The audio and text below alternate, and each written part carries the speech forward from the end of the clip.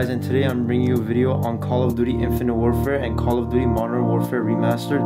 The game has finally come out, it's November 4th, 2016, so people pre-ordered it and I got it too. I got the pro, I mean the Legacy Edition. I couldn't get the Pro because it was all sold out, so I got see pass separate. So I'm going to be doing the unboxing and opening it up right now, just showing you guys how it is,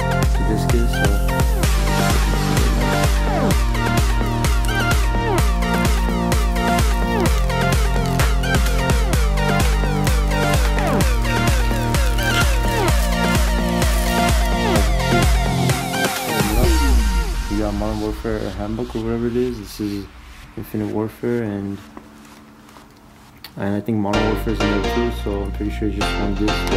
Let me take it out. Yeah, as you can see, it's just uh, only one disc here. This is uh, covering everything. So that's basically pretty much it. And I'm gonna be showing you the season pass right now. So look at that.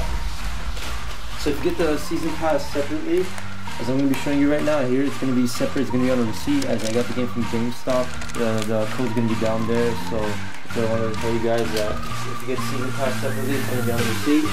And this was the, the CD and everything. So yeah, that's pretty much it. I hope you guys enjoyed the unboxing.